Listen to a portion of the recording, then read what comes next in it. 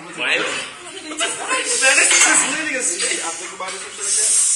think Ooh, kill him. Kill him. No, I'm fixing my hair.